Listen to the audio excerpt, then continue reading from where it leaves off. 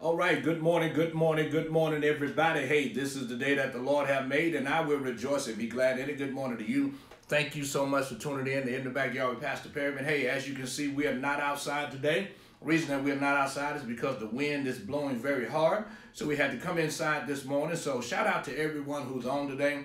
Shout out to our Instagram audience. Shout out to our Facebook Live audience. We thank you so much for tuning in. Hey, shout out to my guy Thomas who's on today. Good to see you. Shout out to Miss Ruth Landaverdi. Shout out to Miss Irene Holmes. Shout out to my cousin Robert Perryman. Shout out to Miss Sheila T. Roby. Shout out to my wife, Pastor Sophia, who's on today. Good to see you guys. Thank you so much for tuning in. Do me a favor. Make sure you share, you like, you tag, you invite. Start a watch party today get other people to come on and be a part of In the Backyard with Pastor Perryman. Again, we are not outside today because the wind is blowing very hard, so we had to come inside today, all right? Uh, but nevertheless, we're going to get the word this morning. So, hey, y'all do me a favor. Make sure you share, you like, you tag, you invite. Start a watch party today. Get other people to come on and be a part of it in the backyard with Pastor Perryman, all right? Shout out to Brother Salilo, who's on this morning. Good to see you, my brother. Shout out to Miss Tiffany Barnes who's on today. Good to see you. Thank you so much for tuning in. But again, y'all do me a favor. Make sure you share, you like, you tag, you invite. Start a watch party today. Get other people to come on and be a part of it in the backyard Pastor Perryman. Hey, I'm getting some of this amazing coffee that my wife made today. And then, man, we're going to get into this word, all right? Shout out to Miss Edna Powell, who's on today. Good to see you. Thank you so much for tuning in, and I appreciate you. I'm drinking out of Miss Tiffany Barnes' cup today, so she don't feel slighted, so she can know her pastor loves her. so yeah, we're drinking out of your cup today, all right? But listen, let's get ready to get to it. And let's get ready to have a great time in the Lord. So y'all, again, y'all do me a favor. Make sure you share, you like, you tag, you invite. Start a watch party today, all right? Shout out to Miss Jennifer Smith. I got to give you my pound this morning. Good to see you. Shout out to Miss Bam, who's on today. Good to see you. Thank you so much uh, for tuning in this morning. I appreciate you. Uh, Miss Willa Robinson is on. Good to see you. Thank you so much for tuning in this morning. Good to see you. Let's get into it.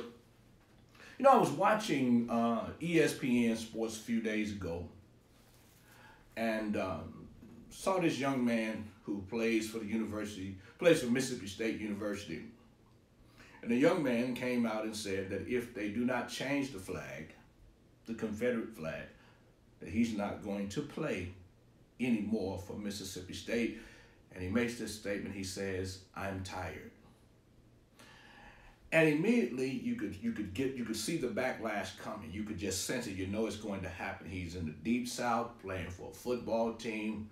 Uh, and, and and that is, you know, if you know anything about football in the South, football is king in the South. I immediately know that he's gonna get some blowback. And all of a sudden you start to see these tweets come about and these tweets start to say, well, leave then. We didn't want you no way. Well, leave then. I mean, I'm talking about every little bit of racist statement that can be spoken is said about this kid. Now, I want you to get this. Now, this kid has a high potential. He's a high potential draft pick for the NFL, which means that this kid is no slouch, which means that this kid really can play. And so now, because he stands up for his political beliefs and what he feels is right, then the people who once celebrated him now won't tolerate him. Hmm. It's amazing now that as he's running down the football field, he's scoring touchdowns. He needs this, he needs that. He's doing this for them. He's scoring, he's tackling, he's doing all of these things, and people are celebrating him. But as soon as he stands and says that the Confederate flag is wrong, that I'm not going to play for a team or for, for a university who believes in racism, now all of a sudden he's not tolerated. There are many of you who are watching me today that you may have been celebrated but not tolerated. And some of you might be saying, what does that mean, Pastor? See, you may have been the one who's been celebrated because you you you you bought things for the party because you took care of everybody. You looked out for everybody. You cooked the food. You provided this. You did that But as soon as you begin to speak out and say that I don't like this because this hurts me, I feel this way, or because maybe your children have mistreated you and talked disrespectfully to you, and you reached out to other family members to convey the hurt that you feel, now all of a sudden people are pointing out to you what your flaws are, pointing out to you what your mistakes and your mishaps are.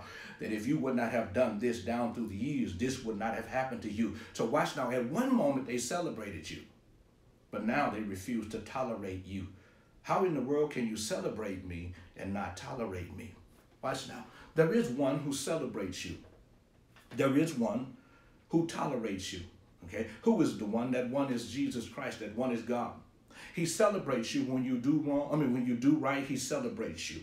The Bible says that God throws a big party when one person gives their life to Christ. Can you imagine heaven having an amazing party because a person gave their life to Christ? When you do right, the Bible tells us that God takes pleasure in the prosperity of his servant. So he celebrates you. But watch this now. But God also tolerates you when you mess up. And there are many people today who are watching me that you have dropped the ball on numerous occasions. You have done things that you should not have done. You've been places that you should not have been. You've done drugs. You've done all kind of things, but yet God has tolerated you. And the reason that he tolerated you is because he loved you. He didn't throw you away because you dropped the ball, because you made some mistakes, because you had some hiccups, some mishaps, and some mis and some some some difficulties going on in your life. He did not throw you away. He celebrated you, but he also tolerated you. See, watch this now. To celebrate means to appreciate, it means to reward. To celebrate means to, to give adulations. It means to give accolades. To celebrate means that we throw an amazing party. We celebrate you. But watch this now. But to tolerate means we just put up with you. But may I tell you that God does more than celebrate you, but He tolerates you. And the reason that He tolerates you is because His mindset, His mentality, and His love is not like that of a man. See, watch now. God tolerating you doesn't just mean that he puts up with you, but his love sees you through. I'm talking to somebody today because you have been in relationships with people where they, they celebrate you when you are doing everything, when you're paying the bills, when you're providing the food, when you're taking them where they need to go, when you're doing this for them and you're doing that for them, when you are there for them and they could, because they could not be there for themselves, they celebrate you. But as soon as you begin to speak up for yourself or as soon as you make a mistake or you drop the ball, the first thing thing that they do is point the finger at you. So watch this now. They're telling you that I'm not going to put up with this out of you. And so watch this now. But God now puts up with things with you because he loves you. And that is because he's going to see you through your issues. Have you ever stopped to think why God did not abandon you in your time of need? Why didn't he abandon you in your hour of need? Have you ever stopped to think that have to ask yourself a question. Why didn't God abandon me when I dropped the ball? When I made some mistakes, when I did some things that was not right? Why did he not abandon me? It is because he loves you too much to abandon you. So guess what he's doing? He's willing to tolerate you. He's willing to tolerate you, but at the same time help you through what you're going through. For some of us, we have anger issues. For some of us, we got pride issues. For some of us, we got habits that we cannot break. For some of us, we know what to do, but we end up doing wrong. And yet and still, he tolerates us because he loves us. So guess what he's doing? He's walking us through the process. He hasn't abandoned us. Not only does he celebrate us, but he tolerates us. And I don't know about you, but I'm glad that he tolerates me. The Bible says it like this. Paul is talking. The Apostle Paul says, When I would do good, evil is present. And then Paul says it like this. He says, When I do good, I find myself doing wrong.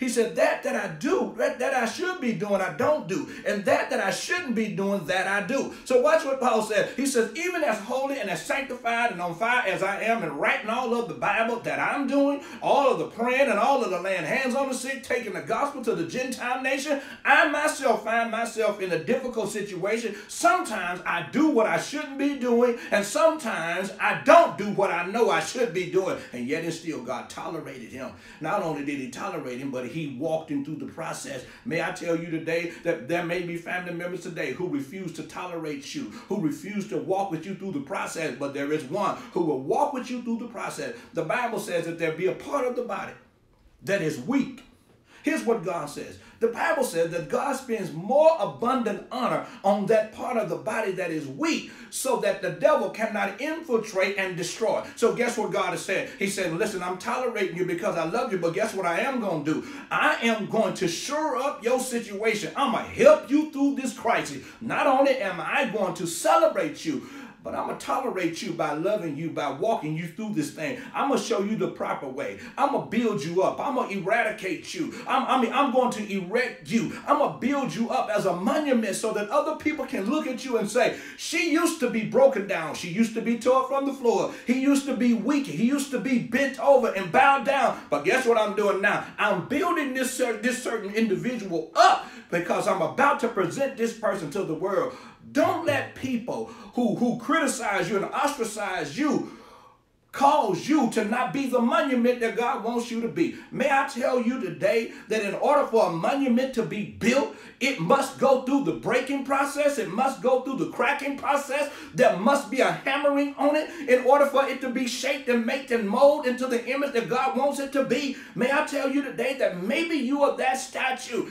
that God is ready to put on display. And so what he's been doing is where people have not celebrated you, he says, come on, I'm going to celebrate you, but I'm also going to tolerate you. And in the midst of tolerating you, it's going to be my love that builds you up. Aren't you glad today that he built you up? Aren't you glad today that he tolerated you, that he didn't walk away from you, that he didn't throw you away, that he didn't act like humans, he didn't talk like other people talked about you when other people said you were nothing and nobody and you would never amount to anything? He did not say that about you. There are people who are watching me today.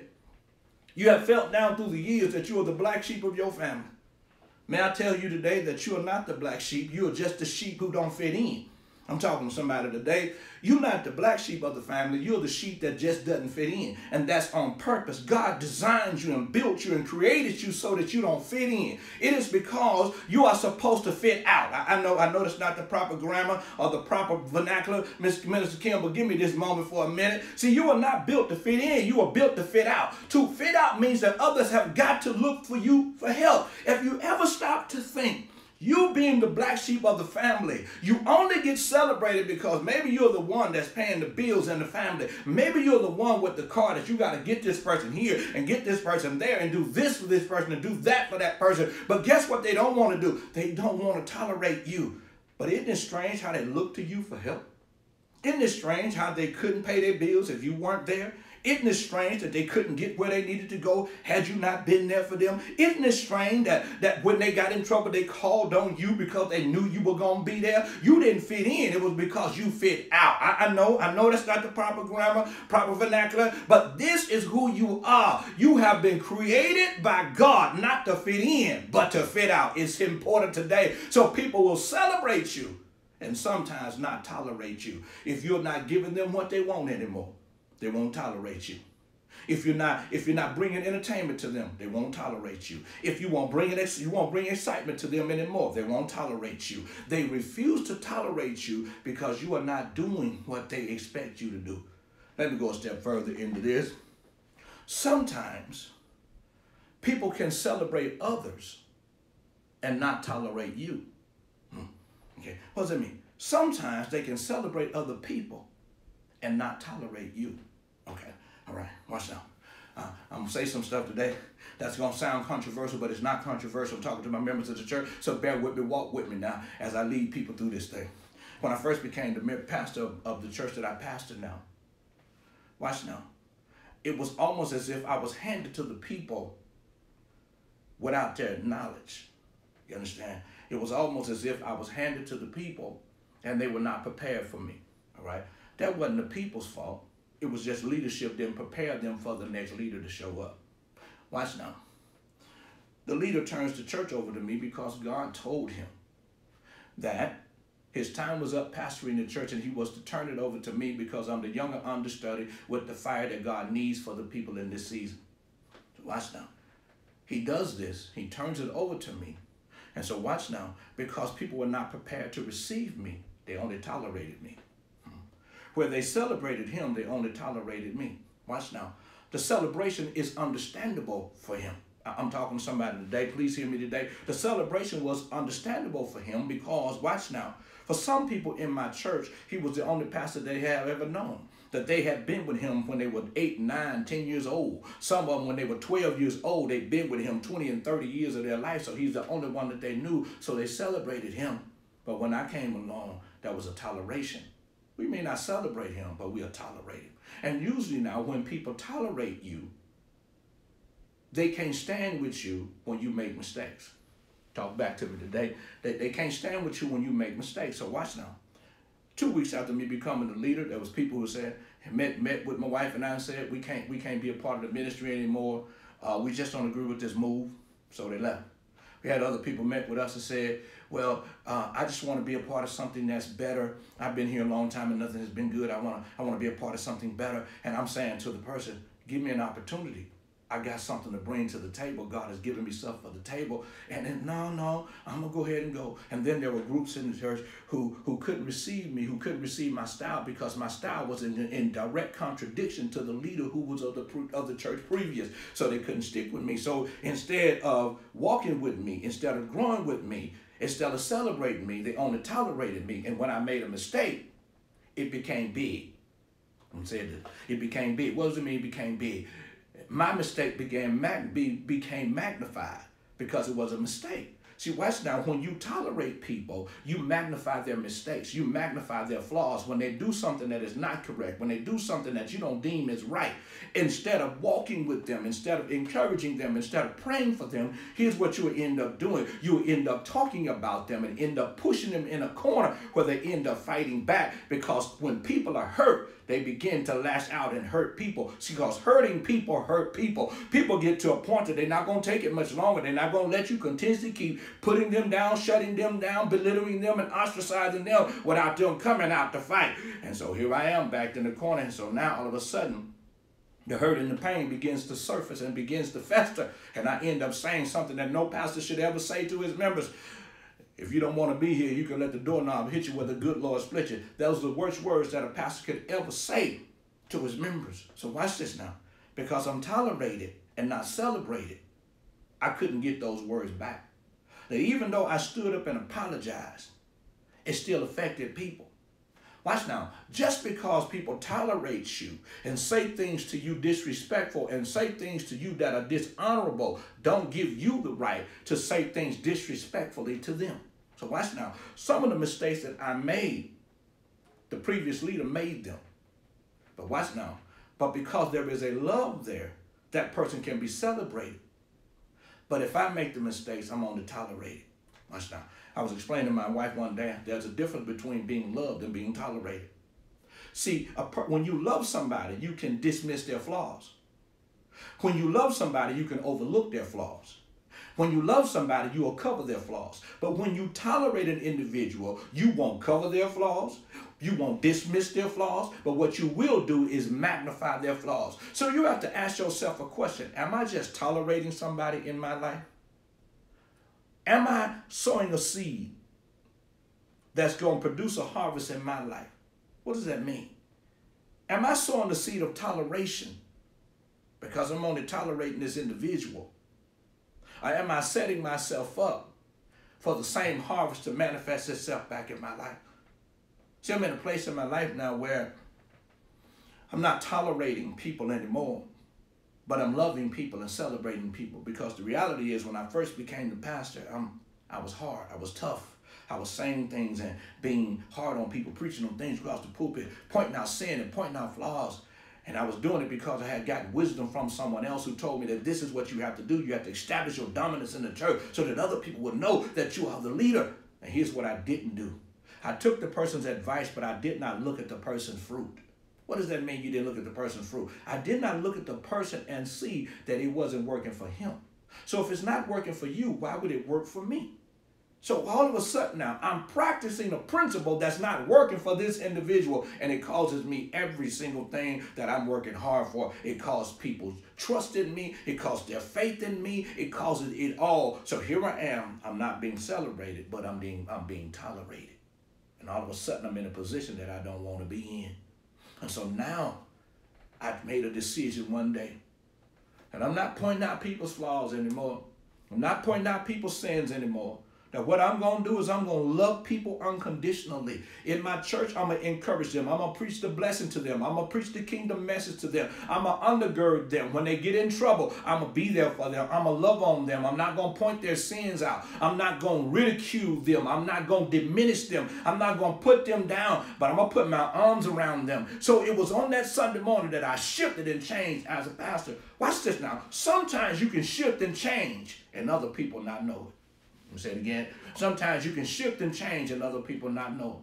Why is that? Because people still have the toleration mentality. I'm just tolerating you. They don't even know that you shift. They don't even know that you change. They don't even know that you're not the same person anymore. They're family members today who don't even realize that their sister has shifted. They don't know that the sister changed, don't know that the brother shifted, don't know that the brother changed because they're still holding on to what the person used to do, holding on to what the person used to be, and holding on to what the person used to say. They don't even know that they shifted and changed. Sometimes when you shift and change, people cannot comprehend it. They can't understand it because they're not looking for it. They don't see it. Listen to this.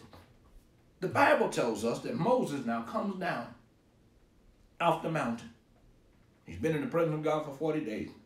Scripture says his visage changed to the point now he's glowing. He's glowing white.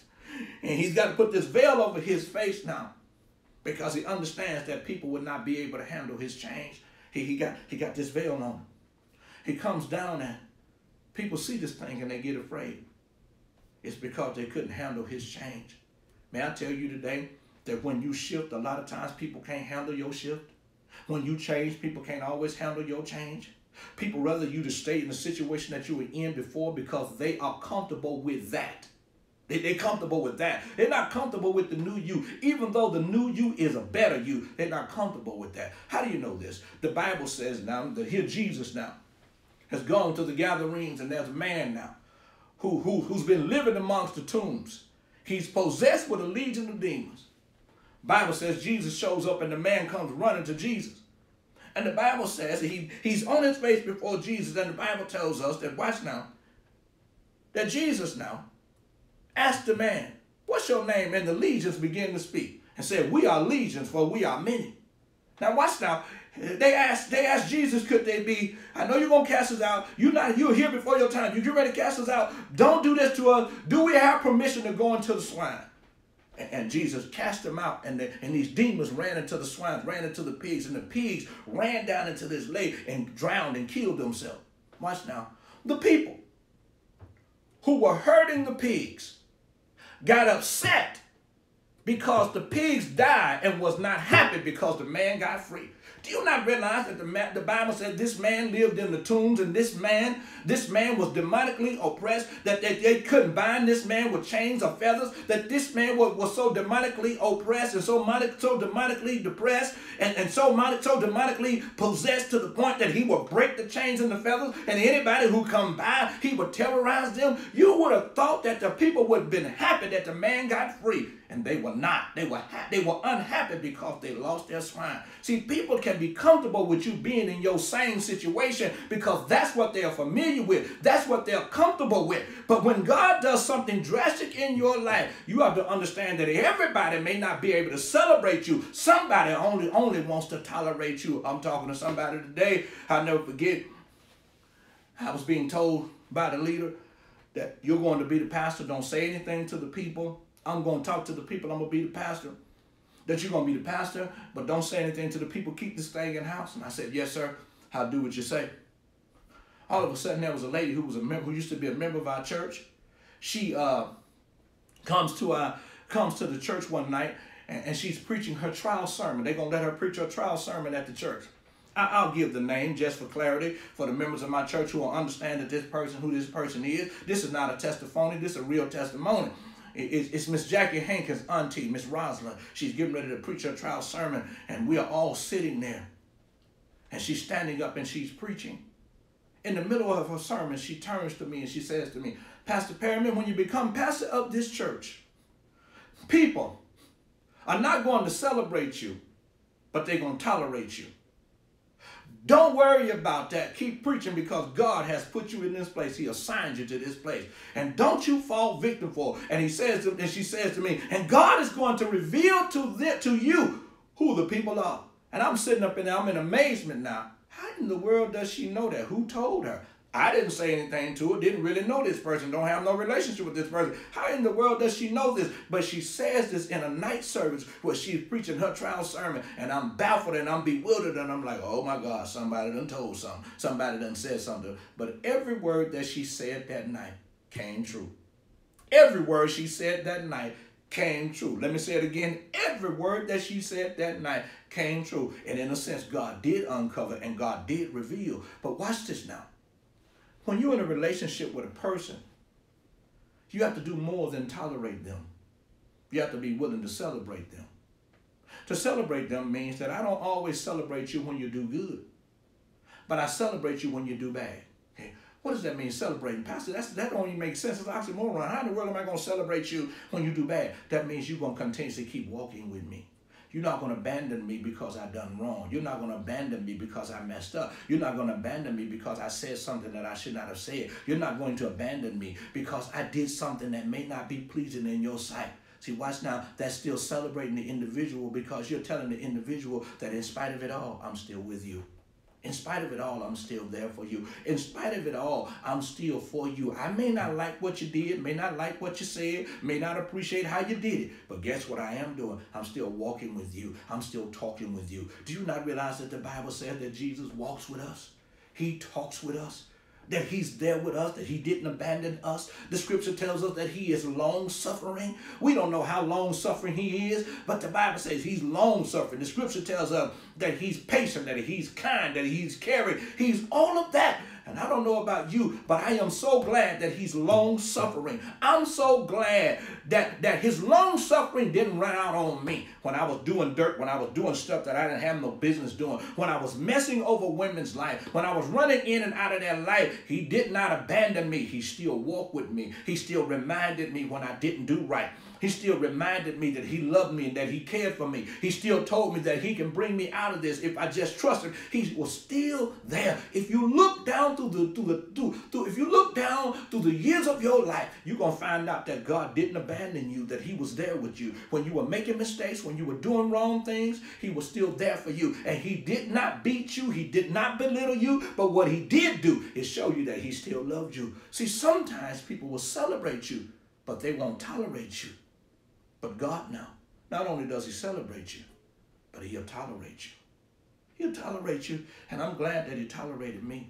When I was out in Long Beach and I got my big old blue bomber jacket on and I got a belt tied around my waist, I got a nine millimeter Astra A330 in my back with, with 15 in the clip and one in the hole. I got it in my back and I got I got this 32 and 357 on my side. I'm, I'm loaded for bear. I got firepower big time and I'm on these street corners in Long Beach and I'm selling drugs like never before. I'm out there hustling. I'm doing my thing. You understand? And I got to be strapped because I'm hustling all night long. I'm getting this money all night long. I can't take no chances. I may have to draw down and I may have to shoot somebody. And there was times where I pulled, where I drew down and pulled the trigger and the gun didn't fire. See, can't nobody tell me that God is not a real. Can't nobody tell me that God can't come to your rescue. Can't nobody tell me that God cannot protect you and that God cannot cover you. Can't nobody tell me that. When I was out there, tore up from the floor he was there for me. He was there for me. Who would have ever thought that he would have saved an individual like me, a gun-toting dude, a dude who was running through people's lives, a dude who was quick to do this if he had to, and quick to do this if he had to. You're talking to somebody who's been radically saved for real. I know that there is a God and that not only did he celebrate me, but he tolerated me. Others may not celebrate, may celebrate you, but they may not tolerate you. But I came to tell you today that there is one who celebrates you and tolerates you. You may have been the person who never knew who your father was. And you've been wondering all your life where my daddy is, where my daddy at. I don't know who my daddy is. Never met my daddy. I wish my daddy was in my life. And all of this type of stuff. And you've been living a life of frustration. And you've been saying things like, if my daddy was in my life, I'd be able, I would have been able to do this. I would have been better as a man. I'd have been better as a woman. May I tell you today that there's one who's been with you all the time. His name is God. He's been a father to the fatherless. He's been a friend to the friendless. He's been there for those who did not know who their daddy was. For those of you who graduated and daddy was never there. For those of you who walked down the aisle and your daddy was never there. For those of you who had major accomplishments and you wanted to celebrate with your daddy and your daddy was not there. May I tell you today that God had somebody there to celebrate you? It may not have been the individual that you wanted, but it was the individual that you needed. I'm talking to somebody today because you've overlooked all of the celebration that God has given you. you've overlooked it when you graduated. You maybe daddy wasn't there, but God had mama up there shouting and jumping and jerking and jigging. Maybe had a friend clapping for you, or a sister or some other family member, or maybe somebody else that was close to you, to you jumping and shouting and jerking for you and screaming your name out and celebrating you and giving you a gift. See, God has been there all the time. He celebrated you when you needed to be celebrated, and He tolerated you when you needed to be tolerated. When you was in your dumb day, He was still there for you. When you made dumb decisions, He was still there for you. When you did some things that were not right, when you were strung out on drugs, when you were being promiscuous, when you were when you were running through women and you were running through men, when you were when you were doing all of these things, when you were lying and cheating and stealing, when you were cheating on your income tax and doing some stuff that you should not have done he was still there for you. He did not give up on you. It's because he tolerated you. Tolerated you. But his toleration doesn't mean he put up with you. It means he loved you through the process. He loved you through your process because every one of us goes through our dumb day. Let me say it again. Every one of us goes through our dumb day. How do you know, Pastor, every one of us go through our dumb day? Because you make statements like this. If I would have knew then what I know now, I would not have made those decisions. That's a sign that you know that you was in your dumb day. I'm talking to somebody today. You was in your dumb day and he still loved you. Not only did he celebrate you, but he tolerated you with his love. He walked you through the process. He walked you right through the process. He, he drove you right through the process. Every step of the way, he was there for you. When you chose the wrong man, he was there for you. He didn't abandon you because you chose the wrong man. When you chose the wrong woman, he was still there for you. He walked through the process for you. When you were in and out of jail, he walked through the process for you. When you were the man who was doing the cheating, he was walking through the process with you. When you were the woman who was being cheated on, he walked you through the process. He was there for you. It's not because he just he's the God who celebrates, but he's also the God who tolerates you with his love. I don't know about you, but I am grateful today that not only does he tolerate, not only does he celebrate me, but he tolerates me. He tolerates me when I want to throw in the towel again on him. He still tolerates me. He walks me through the process. when I feel like I can't make it and I don't know what else to do, he tolerates me by walking through me through the process. When I don't know how I'm gonna come out of this situation or come out of this circumstance, he walks me through the process. He walks me through. He tolerates me by walking me through the process. See, everybody, sometimes people will celebrate you, but they won't tolerate you. They celebrate you when you got stuff, but won't tolerate you when you don't have nothing. Sometimes they celebrate you when you're paying all of the bills, but won't tolerate you when you start to speak up about how you feel. Sometimes people celebrate you when you are the one who's doing everything for everybody, but then they won't tolerate you when you say, I'm getting tired of this. Listen to this. You got to get like Erykah Badu. I'm getting tired of yo. You better get Jim, James, Paul, and Tyrone. You, you better, you, I think you better call them and go on out of my life. Some of you got to get this mentality. For the people who refuse to tolerate you, you got to let them walk out of your life. You got to let them go. You got to have this Erykah Badu mentality. I'm going to let you go. Call James, call Jim, call Paul, call Tyrone, and get your stuff and go on out of my life today. It's a decision that you have to make that I'm, I'm not gonna let I'm not gonna let anybody else continue to keep walking over me, keep talking down to me, keep belittling me, keep putting me down. You only celebrate me when I can do something for you, but you can't celebrate me when I don't have nothing. When I was there for you, you can't be there for me. You celebrated me when I had something, but you can't celebrate me when I don't. No, baby, you're not the one that I need. And for some of you, it may be friends and family members that you gotta let walk out of your life. There's nothing wrong with you walking this journey without friends and without family members. Because as you start to walk down this journey, here's what God will do. He'll walk this journey with you. When you get tired, he'll pick you up and carry you along the way. If you need friends while you're on this journey, he'll cause friends to show up. If you need family members to walk with you down this journey, he'll add the family members you need in order to walk this journey with you. May I tell you today that not only will God celebrate you, but he'll tolerate you with his love. I'm talking to somebody today. That's my time. I pray your life was blessed and that you were encouraged today. oh my God. Y'all share, like, tag, invite, start a watch party. Get other people to come on and be a part today. Listen, I got to give some people some shout outs today. Hey, shout out to Miss Ann who's on today. Miss Tracy Anderson is rocking with us today. Good to see you, sweetheart. Thank you so much for being on this morning. Uh, I think I said shout out to Miss Irene Holmes today, Miss Shirley Powell, Miss Edna Powell is on today. Good to see you guys. My auntie Dorothy Perryman is on today. Good to see you. Miss Philanda Addison Ross is rocking with us this morning too. She's on. Good to see you today. Thank you so much for tuning in this morning. I appreciate y'all so very much for walking with me today. And thank y'all for not only celebrating me, but tolerating me too. Shout out to Miss Diane King.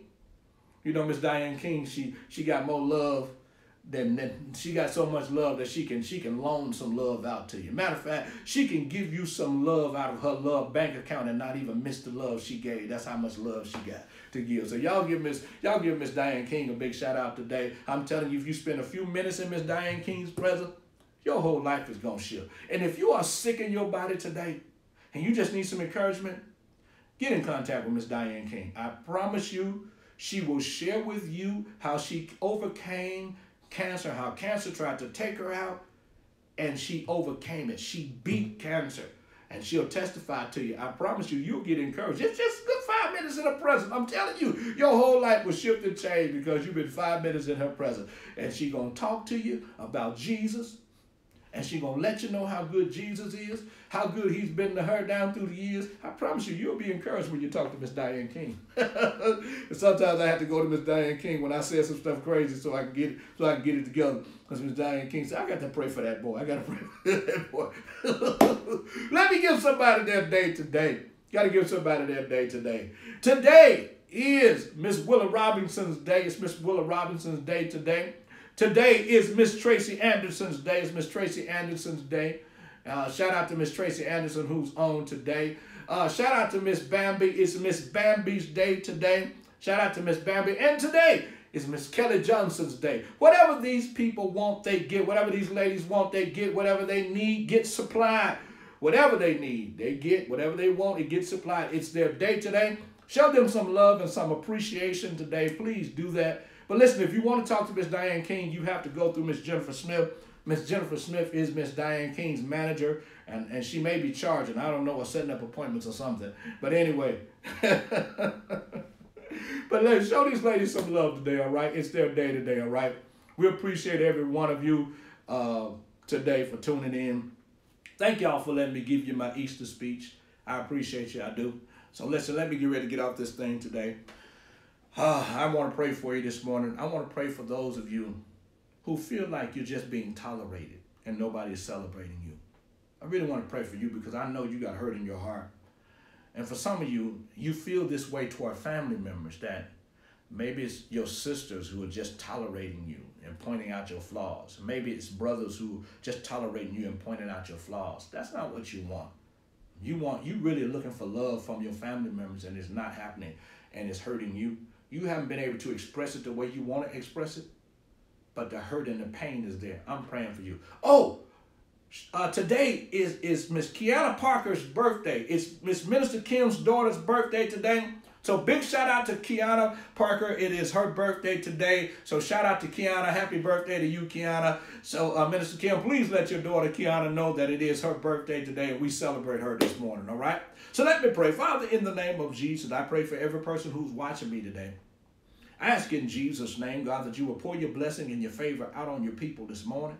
For those people today, God, who feel like they're just being tolerated, that they're not being heard, that they're they're not being accepted, but they're being belittled and pushed back because maybe of their past or maybe things that they've done that may not have been good. Lord, I ask in Jesus' name that you would comfort these people, that you would give them peace today that you would give them hope and you would give them help today. And Lord, I thank you. You said in your word, God, that you are a friend who sticks closer than a brother. You said that you are father to the fatherless. And so, Lord, we thank you for that. That in every time we needed you, God, you have been there to celebrate us.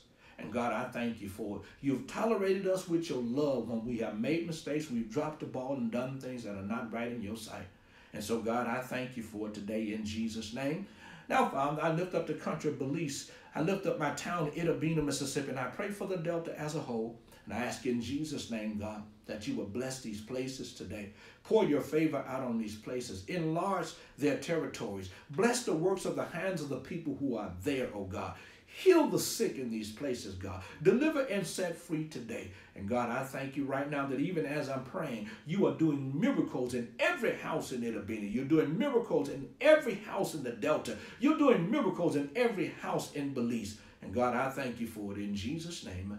Amen and amen. All right, Miss Abigail Yates is on. I got to show Miss Abigail Yates some love. You know, hey, Miss Abigail Yates has, has been with us for a minute. Thank you, thank you to Miss Karen Yates uh, for getting her on the broadcast with us. We appreciate you uh, for tuning in today. Love you. She is a sister of Miss Melba Yates Pitts and Miss Marucka Yates. So hey, I love all three of those people. They're the reason that, that I'm Belizean. Not only with my wife, but they're the reason I'm Belizean now. I'm kind of dual citizen, so to speak. but anyway, I love y'all. But listen, get your seat in the ground. Go to our website at Kingdom Life Faith Center. Get your seat in the ground. Oh, Miss Sheila T. Roby is on today. Shout out to Miss Sheila Roby who's on today. I cannot omit her. All right, so shout out to her. All right, but get your seat in the ground. Go to our website, kingdomlifefaithcenter.org. Click on the online giving button there and get your seed in the ground, all right? Get it in the ground. Hey, you can give your tithe, your offerings. If you want to sow directly to me or to my wife, you can do it through the Cash App. The Cash App is the dollar sign Pastor Perryman. And the Cash App for my wife is the dollar sign Pastor Sophia. Get it in the ground today, all right? Hey, shout out to Mr. Cassandra James Moore. Shout out to Miss Cassandra James Moore today. I'm praying for Miss Cassandra so she won't be driving Miss Irene Holmes all fast and stuff. so I love y'all. I appreciate y'all. And Miss Irene, he, you pray for her too so she'll be driving fast. all right. I love y'all. I'll see y'all tomorrow. Y'all be blessed in Jesus' name. All right. Make sure you start a watch party. Let other people be blessed by the message that you're receiving today, all right? I love y'all. We'll see y'all tomorrow. Be blessed in Jesus' name.